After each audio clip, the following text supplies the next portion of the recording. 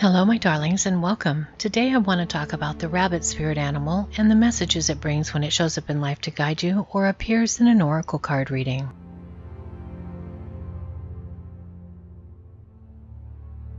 This video focuses only on the rabbit spirit animal. If you'd like to learn how to find and connect with your spirit guides, I have a separate video on that topic, and I'll leave a link to it below.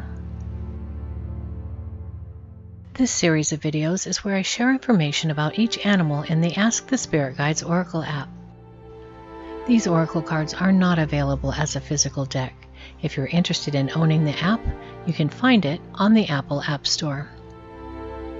Keywords to consider when rabbit appears are alertness, quick thinking, fear, fertility, and love.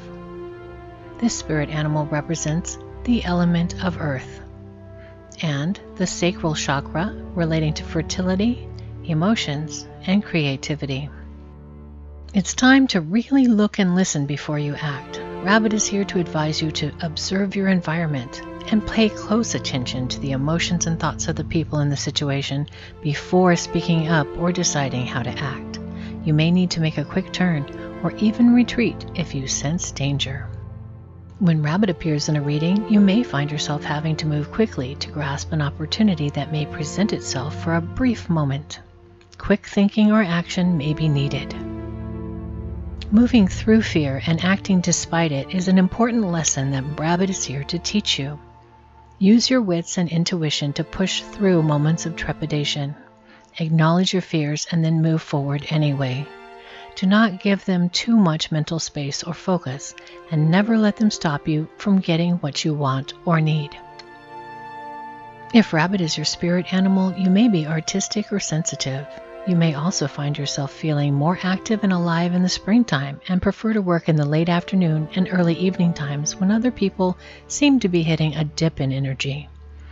Rabbit brings a message of fertility and abundance. Good luck and prosperity may be headed your way when Rabbit appears. Love might be nearby. I created this series of short videos to share the information in my Ask the Spirit Guides Oracle app. If you enjoyed this video, you may wish to watch others in the series. And if you would like to suggest a spirit animal for a video, please let me know in the comments.